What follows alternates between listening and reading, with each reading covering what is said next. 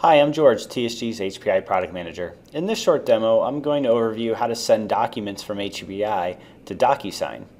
So here I have a document, sample document loaded into HPI. This happens to be an NDA contract, but of course could be any uh, document that you want to send to DocuSign. And we just have an action here to send the document to DocuSign, so I'm going to go ahead and do that. Um, and then essentially I can enter one or more email addresses for users uh, that I want to send for DocuSign. These could be, could be users in the system or uh, just any user outside the system that you want to send a document to. So I'm just going to go ahead and um, send it to my user. Um, so I'll send it to my email address and go ahead and send.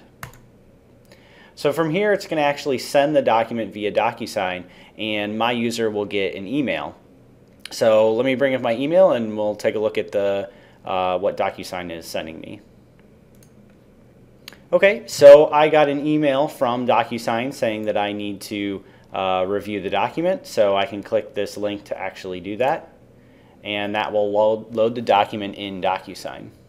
So from here, I'm just using DocuSign's uh, functionality to say that I agree to electronic signatures, and then just go ahead and I'm just going to go to the bottom here and place my signature uh, we'll put it right here.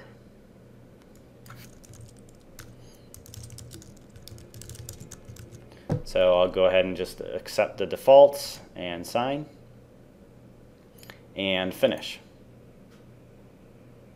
So I'm not going to sign up here. I'm just going to go ahead and finish. So that completes the process. Uh, so from here, HPI has a job that runs every hour to go out to DocuSign and pick up completed documents. So I'm going to go ahead and run that on demand and we'll take a look at what happens in HPI. Okay, we're back and I ran the job and it pulled the document back into DocuSign. Um, so if we scroll down to the bottom, now we're going to see our the signature that we added uh, in DocuSign has been pulled into the backend repository. Well, that's it for this short demo. Thanks for watching. For more information, check out our website at tsgrp.com.